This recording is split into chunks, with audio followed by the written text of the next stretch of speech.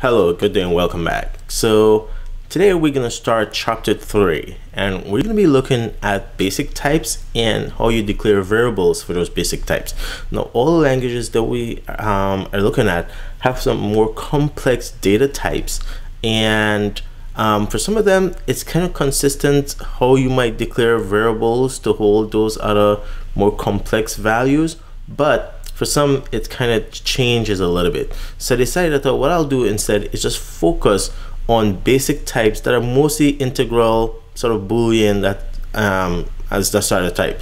Um, for a lot of languages um, the newer languages string is going to be considered a basic type and even in C you had this idea of a string. But I'm going to put string in its own chapter because as you're going to see as we go across the languages um, they support string differently so anyway, let's look at C. So in C, when we're looking at the integral types, um, we have um, the idea of a character or an unsigned character. Now you could just say I have a character or I have an unsigned character. And what or a signed character, sorry. And what it means is I have a one byte value or a value that could fit into one byte. And here one byte is eight bits. So we can when we talk about bytes, we talk about eight bits. And eight bits can represent a number if it's signed meaning that I can say whether it's positive or negative from minus 128 to 127 positive, right? If it's unsigned, it still takes up one byte, but now I can say that oh, the value I can represent is 0 to 255. Again, that's because the idea here is that I don't have a sign, so I'm never going to use negative. So this is great for when I know that oh, I want some really small numeric values, but I'm not going to be dealing with negatives. Um, C also have this idea of a short, and short just means two bytes. And again, if it's a sign short, we're talking about a value that's minus at negative 32,000 to positive 32,000 thereabout. If I want to represent larger values, but I know I'm not, I don't need the negative, so I do an unsigned one. And I still use two bytes, but now I can represent from zero to 64,000 essentially. Integer, and this is where it gets confusing for C. An integer could be either two bytes or four bytes. And the reason for that is depending on the platform that you're on, the language never specified. It just in just always default to what the natural size of that architecture is. So years ago, I used to program um, embedded system on a Motorola DSP, digital signal processor. And there, everything um, was a word addressable. And so you couldn't even address a byte even if you wanted to. Um, so when you increment address location from one to two, you're actually every address, when you say address one, dereference two bytes. Address two, dereference two bytes. So you've skipped over um, a byte. So every time you increment the address, you're going two bytes at a time. And that's because it was not byte addressable, it was just only word addressable. And the other thing there was that the int would always default to the natural size of that architecture, which was just two bytes. Um, and so if you said int or you said short, you get the exact same thing. Um, on 32-bit platform, uh, int is gonna get you four bytes. Um, but I'm probably gonna guess that in a 64-bit machine, it might actually get you, six, um, you know, 8 bytes, but we'll see. Maybe we'll try it one day. The next thing is, of course, you can always do unsigned int, and of course, that allow you to do uh, representation from 0 to whatever the max is, which is pretty much, you know, when you're doing sign, it's to be uh, always half of your address, um, your available values. Okay, as you can see the pattern there. Long um, is to be 4 bytes. Um, then there's unsigned long. Now, again, this is where C gets really weird because on some platform used to be in compilers used to allow you to say things like long long. And so there used to be eight bytes. Uh, I didn't put that on there because um, I started to look at um, what was in the C book and that wasn't there. All right so that's for the integral values. They're also floating point values. So they're not integers all numbers these are your decimal type numbers okay and so these are going to be float, double, and long double. Now, um, if you have a lot of money, you're going to be wanting to use something like double and long double. That's going to allow you to represent your billions of dollars. Okay. Generally, um, if you want to represent currency, people tend to say just use double. Um, C gives you all this control. You can see in some other languages, they just go, this is what you get, and you have no control over it. So um, C certainly is the language where you want to do certain type of manipulation you can sort of say what you want and you are allowed that control because eh, you don't use any more than you need. So if you have a language like C and you know that a value is never going to go over 64,000, you know that you can use a short for that. And you don't need to use a double or a long and use more bytes than you need. So you just make your program bigger. And so in other languages where you don't have that control, you trade that control of not being able to limit how much bytes you use. So you sort of wasteful on bytes, but you get easier program because you don't have to think a lot about, well, how much do I really need? And what if I go over when I'm running my program or something like that? Um, so there's always a trade-off. That's why a language like C is used for embedded programming because their memory is tight and when it's memory tight you want things to be fast and you don't want it to be bloated and so if your stuff is too big it's going to take longer to run and so you really want this type of control of how much bytes are you using you really want tight control on your memory and so we'll see that a lot of things in C is all around this idea of you having a lot of control. You might shoot yourself in the foot with it, but we're going to give you the gun. You better know how to use it. Yeah, notice I didn't mention anything like a boolean because C does not have the idea of a boolean value, which is true or false. It's you use a character for that. Later on, there's something in C that we're gonna look at called a bit field, but that is much later on, um, and that's slightly beyond the idea of just a boolean. Um, that's a little bit more involved. So basic syntax for declaring a variable in C is you specify the type, and then you specify an identifier. Identifier is the name of the variable, right? And so example there would be like character age. And you don't have to initialize it. That's just a declaration. You're saying I declare that I have a or I want a variable called age of type character. And it's, of course it's signed there. Um, another way you can go about doing things is say, okay, at the time when I declare my variable, I'm gonna give it a value. And so that's the second example where you yes you have an expression and you know i have a literal value there but your expression could be some computation that gets evaluated and the end result gets assigned. And so c has even more complex variable declaration but i didn't want to go into that. It can get really weird. It's so crazy there's actually a website for c variable declaration where you can put a declaration in and ask it like what does this really mean? Because c declaration can get pretty hairy.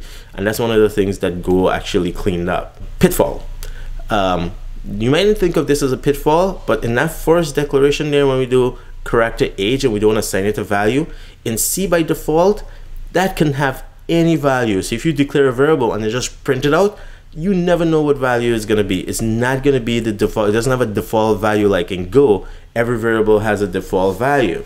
Um, so a boolean value default value is going to be false, and a string default value is going to be an empty string, and a map default value is nil, and that sort of thing. Um, C doesn't have that. Neither does C++.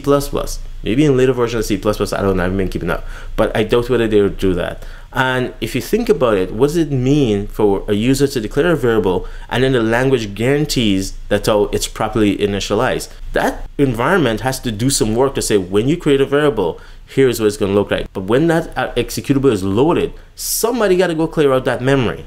And for C, they're just like, you don't set it, we're not setting it and so that allows you to get to running and working as quickly as possible but here's the there's the pitfall is that if you forget and you start adding or using it in a way without initializing it um, you can get into trouble um, make an assumption about what value is in there and so C doesn't warn you before using a variable that's not initialized. These things have caused so much problem that you see in other languages that we're going to see, like in Java, they don't force you to initialize a variable, but they warn you that, oh, hey, this variable might not have been initialized and um, same thing with Go. Um, of course, the new compilers and C probably have um, extensions and stuff that you can specify to say, I want to enable warning for all non-initialized variables and blah, blah, blah. But by default, the language specification doesn't require any of that stuff. And I'm pretty sure early in the days didn't say that. Like C99, which came out to C++, probably started adding in some of those sort of warning and so on, like that. All right, so time to jump into our code and take a look and see what um, how we can play with some of these things. Okay, so we're gonna start off in this new directory that we have here for um, playing around with uh, C, and so we're gonna create a directory um, to over C example, and then within that um, we're gonna start writing a simple application. Now, of course, I'm gonna speed up writing some of the code because it's kind of boring to show um, writing code. But you know, I'm gonna include stdio.h because we're gonna use the printf function to print out stuff. There's also another function that I'm gonna start off with called um, put character, put character, and or put char, and so I'm gonna use that too. So that comes from the standard out um, library and this is the header file that defines some of those functions. Um, later on, I don't know exactly when, maybe towards the end or something in one of these videos, I'm gonna start to go through and compare the language sizes. And you're gonna see why I think C is such a great language. Besides some of the crazy, besides all the crazy stuff, um, it's pretty small language. So anyway, I was able to declare some variable here and notice it's just variable declaration. I'm just saying I have C, I have I, I have L, all these other things of different types. I, I, run my program right now and I have no error or warning because it's okay to declare variables and not use them. This is unlike Go. C, you can declare whatever you want and it's up to you if you want to use it or not. They don't care, right? Remember, C lets you do whatever you want. But I'm going to print out um, the character and unsigned character. And notice it look like I don't I'm not getting anything here um, for character, but um, for unsigned character I'm probably getting something. I don't know what the value is, the number they're associated. Remember, these are all numeric types here. And all I'm doing is when I say print the characters, I'm telling C, well, this number, I want you to interpret it as a character and print it out for me. Okay? And so when I put stuff in single quotes as a character, and that's just like a number. So that function takes a number. And the thing that looks like a single quote there in single quote like a string is just a character. And I'm just saying, give me the equivalent number for that thing, for that character. Well, okay, I'm not making much headway with printing out stuff with um, using the put char function. So I'm gonna go and actually um, use our good old tried and through um, printf function and I'm going to say print out this character and I'm going to print out both what the value of C is and also what um, the value of um, UC is in a minute. And so if I use this and I put a new line, then and run it, I'll see it all. It's nothing. I don't know what's going on. Well, that's because it's, it's zero and when you try to print the corresponding character for zero, it's nothing, right? Um, that's not a that's considered a non-printable character. All right. So if I go back now and like I said, put um, print out UC as a character and then um, run it to see what that looks like. I see it though I'm getting nothing for C for the C the character, but I'm getting this weird thing for the unsigned character and that's just because that's the value it's being assigned. I shouldn't read too much into it because it could be anything. You could write this exact same program and not get the same result. Now um, this format specifiers so you see me use percent %c. So how do i know what to use for the different types? Well those are here and you can go look it up um, online. I'm going to go to wikipedia um, but you can pretty much go anywhere. And i'm going to scroll along to the section here about the format specifiers and it's going to tell you the set of characters you can use for different types. And so there they are. If we look them over, we can see which one we're going to use. And so we're going to use the ones for printing out an integer. Um, and we're not going to care too much about some signed int or anything, but yeah, we can do that too. Um, we can print out some using F, E, and G to show it how they are pretty much print out the same way. And then we're gonna um, print out using hexadecimal values. Um, so let's speed through um, doing some print statements and printing these out. Um, again, I'm gonna just basically take each one of our variables and again they're not initialized previously so they're just declared and then I'm going to start um, printer mode so let me speed forward through that okay so once I've done that and um, have it like this this is all of them now I could run the program and see the results. And so um, this is what we have and if I center it back on the screen looks like if I'm still getting nothing and now I'm getting four for UC um, again like I said every time you run this you can get a different value. Um, so what does that mean? Um, it doesn't mean anything really. Um, but it'd probably be easier if I put a line number with this on each one of these. And so now I could see which line correspond to what. And so um, let's do that. And this is the end result after I arrange add line numbers and rerun the code. And you can see that for no my C character value is 13 before it was 0 but then when I print it out as a character I get the new line character because that's what 13 is the new line character but when I print it out as an integer percent i on line 1 there you can see it shows me that out that value is actually number 13 but when printed as a character I get a new line right? And you can go through and you can look at all these and you can see and then you can see on line 4 for example I print it out as an hexadecimal I get the value D which corresponds to, to 13 numeric value but an hexadecimal is D but I could go put like um, 0x in front of it to mean hexadecimal um, and then you know sort of look a little bit better um, in terms of it look like a real hexadecimal number. Okay, so that's all still fooling around with um, how things are printed out. Um, so let's go initialize our um, variables now instead of instead of just declaring them and letting the computer figure out what we should, values we should have. Um, we're gonna initialize them.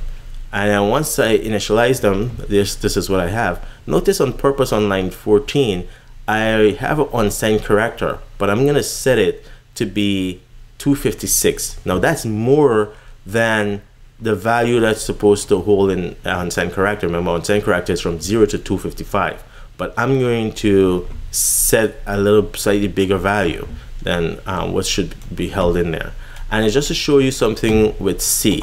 Um, C, again, the whole compiler would suddenly just cast things or either truncate it um, but you know, the new compiler they might warn you and so on, but still it's not an error and your program still run. So if we run our program there, we can see it out as like three warnings or something off screen. If I change the value, um, you can see it's basically wrapping it a wrap around. Okay, and it's look like the value minus whatever I tried to set minus 256 was 256. That's um, 2 raised to the 8. And so if I have time with an 8-bit value, then it's 2 raised to the 8, that's 256. And so it's just wrapping around that value there and truncating it. Okay. Um, so now I'm gonna just copy these and put these into function. Now we haven't talked about how to create functions really in C, but um, I'm gonna sort of ignore that and just put all my values into a function here. So I'm gonna put my variable sorry into functions. I'm put them in two functions. I'll put them in one function for printing out when we have variable declaration and one for printing out when we have variable initialization. And then I'm gonna rerun, try to run it. And as you can see, when I try to run it, um, I have this error here. And it's saying that oh, we have conflicting type for a function var declaration, right? And then the other error is the same thing for var init. Um, so why is this? Well, this has to do with the fact that um, C basically, um, if you don't the type of my function here which says it returns void or it doesn't return anything.